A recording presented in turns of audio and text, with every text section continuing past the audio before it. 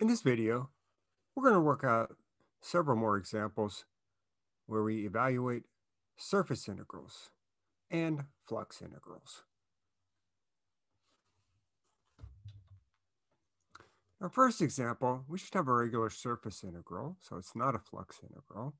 Our surface here it has the equation z equals x plus y squared, and we're going to look at that portion of the surface uh, over the rectangle where x goes from 0 to 1 and y goes from 0 to 2.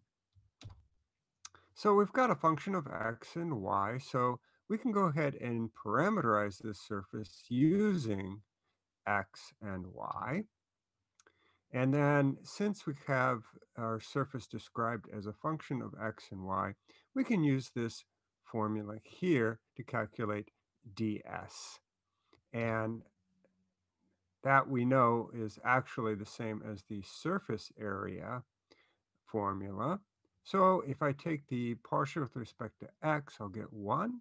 If I take the partial with respect to y, I'll get 2y. If I square those, then I'll have 4y squared plus 1 plus 1. So that'll make radical 2 plus 4y squared.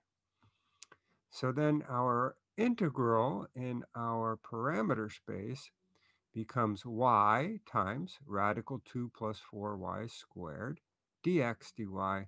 And then our bounds are just from 0 to 1 and 0 to 2.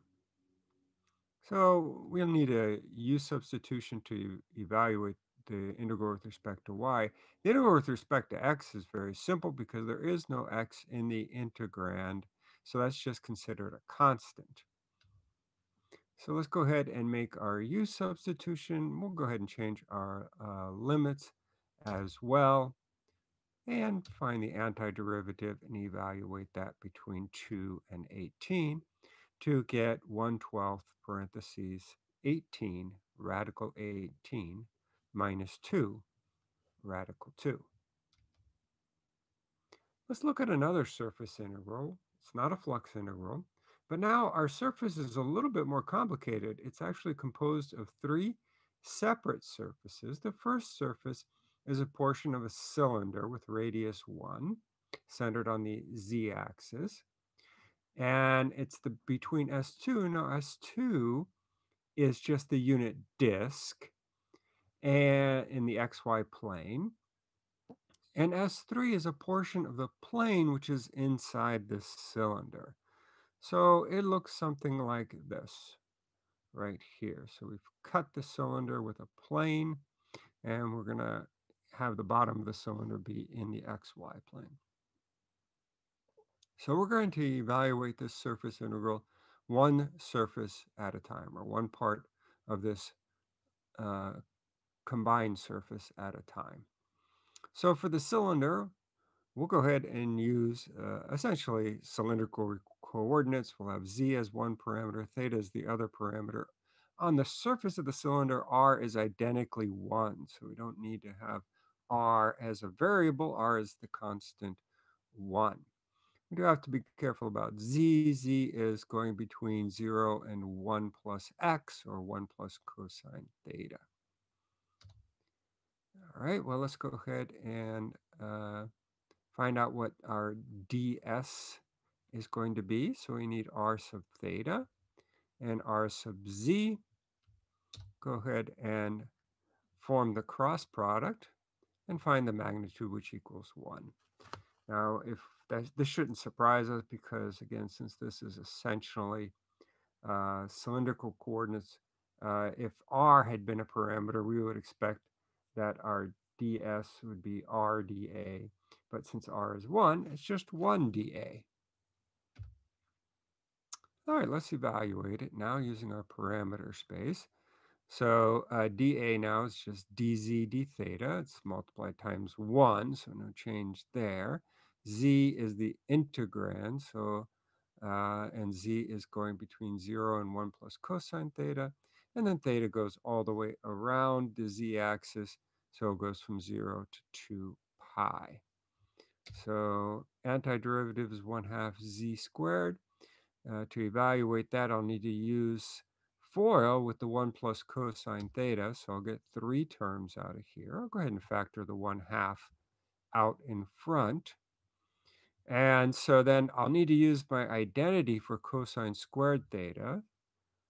And now let's just see what's going to happen here. I'll have the 1 half outside the integral. I'll have 1 plus another half, so 3 halves inside the integral. And the other two are uh, cosine functions whose antiderivatives will be sine functions. But when I evaluate that, sine of 0, sine of 2 pi, sine of any multiple of pi is going to be uh, the same as sine of 0. And so that will contribute nothing. The cosine terms here will contribute nothing to the evaluation. So I'm just really left with the constants. And so I'd have half times the 3 halves times 2 pi, giving me 3 pi over 2. And that's only for the cylinder wall of this surface. Now for the disk. So we'll go ahead and use polar coordinates here to parameterize uh, the disk. Z is identically zero everywhere on the disk. And, oh, well, since z is identically zero, that means the integrand is identically zero because our integrand is z. Everywhere on this disk, then the integrand is zero. So that will just evaluate to zero. So we will not have any contribution to the final answer from the bottom disk. What about this ellipse, which is the portion of that plane that cuts through the, the cylinder? Well, we'll go ahead and just use x and y as uh, our parameter since we have uh, z equals x plus 1. That's a, a function of uh, x only. And so then we can go ahead and find our ds. First, we'll take the partial with respect to x, the partial with respect to y, form the cross product, and then find the magnitude of that cross product, which is a constant radical 2. So uh, we'll just have radical 2 times dA is ds for this integral. Now z is x plus 1 on this surface. I have the radical 2 from my ds part. Uh, the region R here is uh, the projection onto the xy plane, which is that unit disk. So we will change to polar. So now I'm going to have, instead of x plus 1, r cosine theta plus 1. dA becomes rd, r dr d theta. And my bounds are from 0 to 1 on r and 0 to 2 pi on theta. And I still have the multiplying factor of radical 2. So evaluating that antiderivative first with respect to r, I'd have r squared cosine theta, so that's one third r cubed cosine theta with the antiderivative. The antiderivative of r is one half r squared. Evaluate that between 0 and 1. That's pretty simple. So we're left with one third cosine theta plus 1 half d theta. I take the antiderivative just as in the we saw in the other integral, this cosine theta will make no contribution because the bounds of integration are 0 and 2 pi. So I'm just left with finding what radical 2 times a half times 2 pi, and that'll just be radical 2 pi. So altogether, combining all three surfaces, I wind up with 3 pi over 2 from S1 plus radical 2 pi from S3. In our third example, we have a hemisphere. It's the upper part of the hemisphere, but we're told that the orientation is downward. So this would be a negatively oriented hemisphere. Its radius is 2, and we're doing a flux integral here. This is a flux integral, so we do have to of course, pay attention to the orientation, which means we have to pay attention to the unit normal vector. So we're going to look at two different solutions here. Our first solution, we're going to parameterize it using phi and theta. So uh, we get this from uh, the spherical coordinates with on the surface rho identically equaling 2. And so I'm going to go ahead and factor that 2 out because we've seen this uh, representation before. Now let's pay attention here. Phi only goes between 0 and pi over 2 because we have the uh, upper part of the hemisphere, the part of the hemisphere where z is greater than or equal to 0. Now theta goes between 0 and 2 pi because we're going all the way around the z axis. All right, and so we've seen these uh, partials before, except for the multiplying factor of 2. So here's the partial with respect to phi, the partial with respect to theta. When I form the cross product, I'll just be able to multiply the cross product of these two vectors without the 2 by 2 and then by 2 again. So the final answer will be multiplied by 4. And so uh, I've got uh,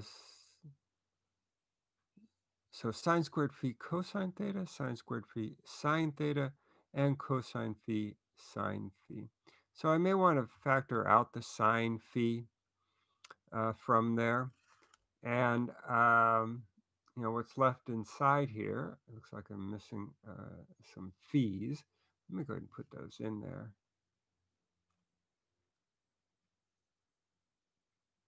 Good. Um, so really this is just, you know, x, y, and z. It's parallel to the position vector x, y, z. Uh, but the problem here is that this normal vector is pointing upward. We want a downward oriented uh,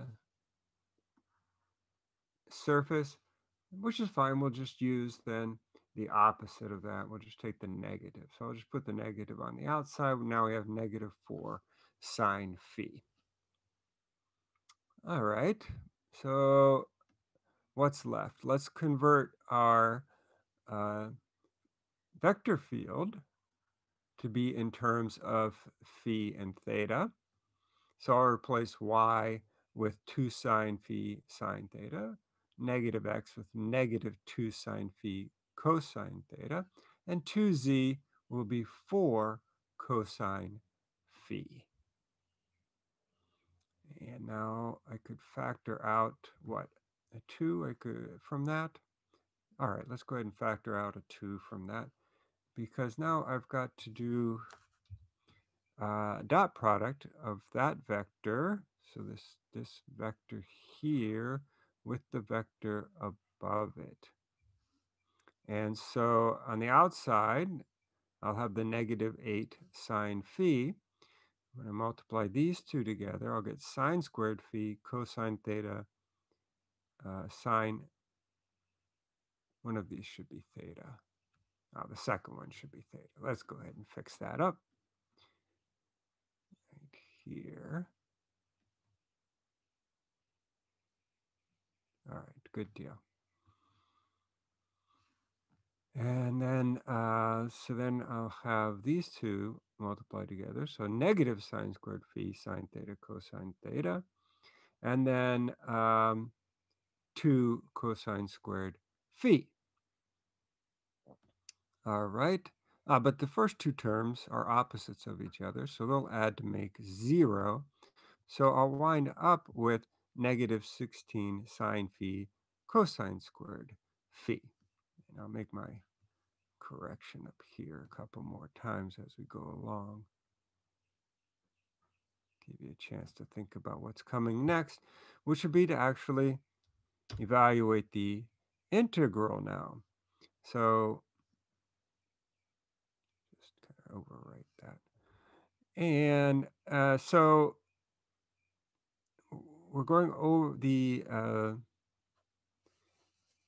phi and theta. So our r is just this rectangle in the phi theta plane. And so our integrand is negative 16 sine phi cosine squared phi. We can find the antiderivative with respect to phi by using just a basic u substitution. And so let's go ahead and do that next. And then uh,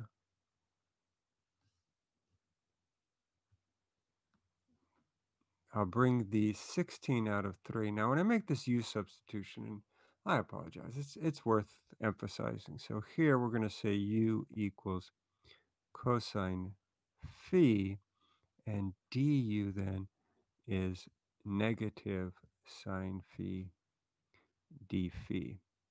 So that negative that comes out of the du is going to be multiplied times the negative that we already have, and that's going to give us a positive, and positive 16 thirds. Evaluate that between 0 and pi over 2. Cosine of pi over 2 is 0, but cosine of 0 is 1. So that's going to give us actually a negative 1 on the inside. Negative 1 then, evaluate that between uh, 0 and 2 pi. So I'd have negative 1 times 2 pi times 16 over 32, which is negative 32 pi over 3. All right. That's one way of doing it. We can use that parameterization using phi and theta. However, if I, because I'm using only half of the sphere, I could think of this surface as a function of x and y. I could solve for z. It's only the positive square root because z is greater than or equal to 0. Moreover, geometrically, I know that if I have a, a sphere, that the normal vector is going to be parallel to a line that runs through the origin and goes out to the point on the surface. Uh, the way I've drawn it then, that you know, heading out of the sphere, that would be our upward pointing normal. And it would just have the, I just use the components of the position vector of the point on the sphere, so x, y, and z. Now that's not a unit normal. It is a normal vector, so let me put a hat to emphasize that to get a unit normal, I need to divide by the length. The length then would be radical x squared plus y squared plus z squared, and uh, x squared plus y squared plus z squared equals 4, so the radical of that would be 2. So the upward pointing normal would be just 1 half uh, times the position vector x, y, z. But I don't want the upward pointing normal. I want the downward pointing normal. Our surface is downward oriented. So again, I'll just multiply that times negative 1. So I could use this as my normal vector. Since I've got a surface which is a function of x and y, I could parameterize this using x and y as my parameters, in which case my ds would just be this surface area expression here. I would need to find the partial of f with respect to x and the partial of f with respect to y.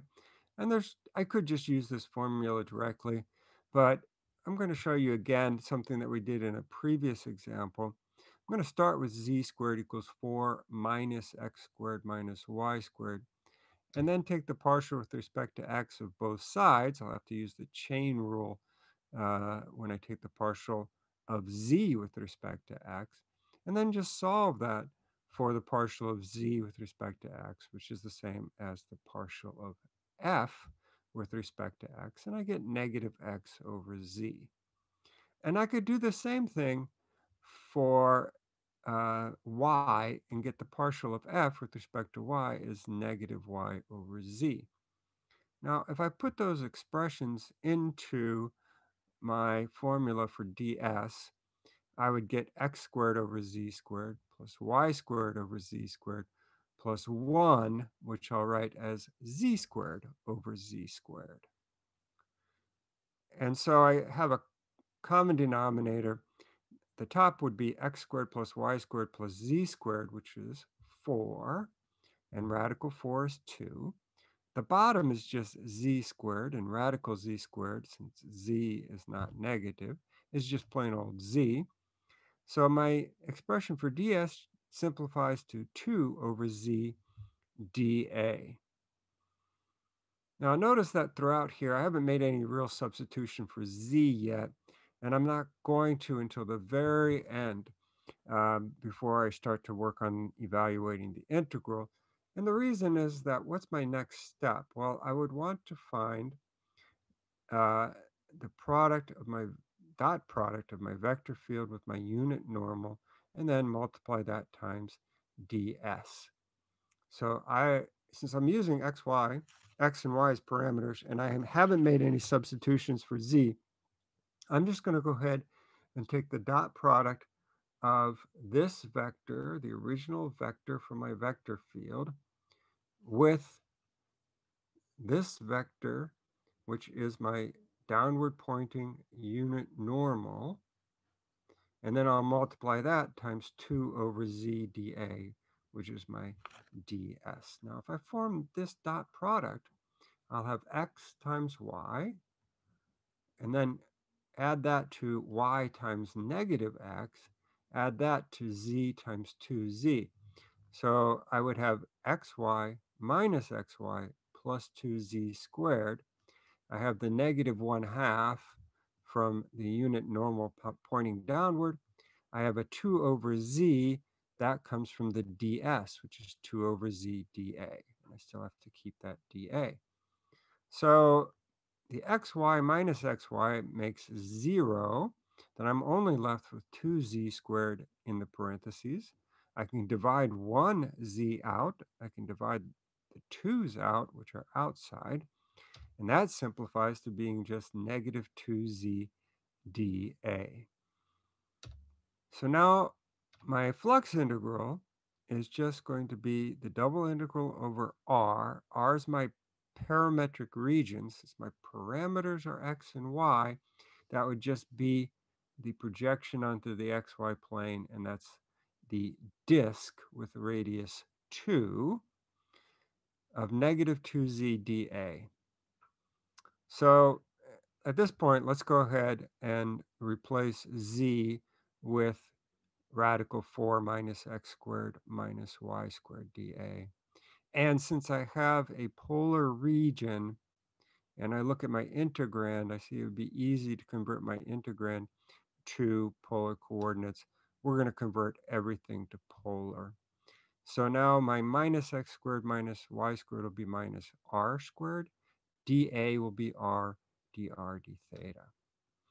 And um, to evaluate this with respect to r, well, to find the antiderivative, I'll make a u substitution and go ahead and change my bounds of integration and evaluate that with, uh, I mean, that antiderivative now in terms of u. Uh, so then I'll have what, uh, a negative 8, so negative 16 over 3 after I do the u evaluation. Uh, that's just a constant, so since I'm taking the integral of a constant from 0 to 2 pi, I could just take that constant and multiply it times 2 pi, and I'll get this, uh, so negative 16 over 3 times the integral from 0 to 2 pi of 1 d theta, and that would just be negative 32 pi over 3. So the same solution I got before. Now, it really is a matter of how comfortable you are. Uh, either one of these parameterizations will work. Uh, I kind of like this because it uh, reinforces uh, some uh, additional information from the actual problem, so the geometry of the problem. Uh, and if you understand that, then you don't really need to do all of the steps that I showed here. You probably could have, uh, you know, for example, just realize that, oh, I want the downward pointing unit normal. That's what I need here. And then you could calculate this ds uh, in a little bit uh, fewer steps than what I used and get to a very simple integrand. Our last example now has a very simple surface. It's just a box. It has a relatively simple integrand, but and, and the box is positively oriented. We're doing a flux integral, so we better be careful about the orientation. Now, a box is a closed surface, so remember positively oriented for a closed surface means that we're going to have the outward normal. Oops. really want the outward facing normal vector for a closed surface. So that's going to be important.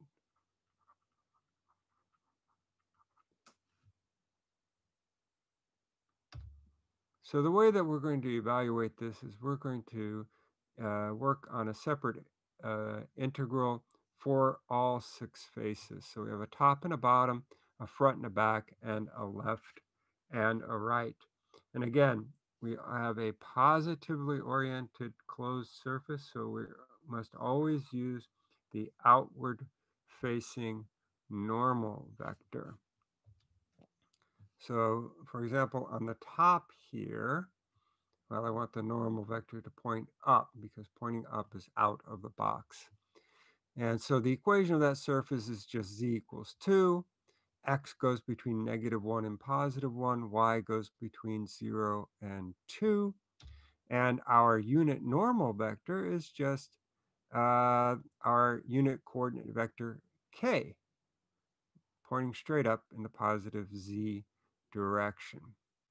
So now if I take the dot product of uh, f dotted with my unit normal vector, well, that would just be the k component of f, and that's 3z. But on this surface, z is identically 2, so it's just going to be, um, the integrand is just going to be 6. Now ds, in this case, is just going to be dx dy, and um, our bounds are determined by our bounds on x and y. So this is just 6 times the area of that face. So 3 times 2 gives me 6. 6 times the area, and the area is what? 2 times 2, so 6 times 4 is 24. Let's look at the bottom. What's different about the bottom? Uh, well, it's still the same area. Obviously, it's in a different location, but most importantly, Eh, to get the outward facing normal, now it has to be facing down to come out of the box. So here z equals negative 1. We have the same bounds on x and y, but our unit normal vector now is negative k. So our f dot n is going to be the opposite of the k component of f, so negative 3z. So the surface integral over the bottom is just going to be the integral of negative 3 times z, but z is identically negative 1. So negative 3 times negative 1 is positive 3 times the area of the bottom, which we said was 4. So 3 times 4 will give me 12. All right, what about the front here? So the front, in the front, I mean uh, the, the portion here uh, where uh, x is a portion of the plane where x equals 1. So again, we need the outward facing normal. So x equals 1. Our bounds on y go from 0 to 2, and z, they go from negative 1 to positive 2. That's what this portion is telling me for z. The unit normal is pointing in the positive x direction, so the uh, i unit vector. So when I take the dot product, it's just going to be the i component of the f vector, which is 2x, but x is identically 1. So when I form the integral, I'll just have 2 times 1 as the integrand. That's a constant. So I'll just take that constant 2 and multiply it times the area of that face. Uh, and that is, the area of that face is 3 times 2 is 6. So 6 times 2 will give me 12. What about at the back? Well, at the back, that's where x equals negative 1. Same bounds on y and z as I had in the front. But my normal vector now is pointing out the back. That is in the negative i direction. And so the dot product will be the opposite of the i component, so negative 2x. Now, here I have a negative 2 times, well, what is x? x is identically negative 1. So I still get 2 as my uh, integrand, still have the same bounds. So I'm still going to get 12 for the value of the surface integral. All right, we're left with left and right. So on the left, that's where uh, y equals 0. And my unit normal has to be pointing out of the box. So that's going to be in the negative j direction. So the dot product is going to be the opposite of the j component of f. So the opposite of negative y is positive y. Turns out it's really not that important because the uh, because y our integrand y is identically zero uh, for this part of the surface. So its value is going to be zero. Now on the right face, we have uh, y equal to 2, same bounds on x and y. Now our unit normal vector pointing out of the box is pointing in the positive j direction. So my dot product is just going to be the j component of f, which is negative y. So then I'll have to uh, take uh, my y value is 2, so negative y would be negative 2. And that's just a constant. And so I'll just multiply that times the area. The area of that surface is 2 units by 3 units. So 6 times negative 2 will give me negative 12. So now to get the flux across the entire box. Now, remember what flux is. Flux is the net amount of the vector field which flows out of the box. So flux will be positive if more flows out than flows in. So let's just add up how much is the net amount flowing out through each surface. And so we got our 24 plus a 12 plus another 12 plus another 12 plus a 0 and then minus 12 and that'll give us 48. So that's our last example. They do take some time, but if you look at it systematically, you can work through them.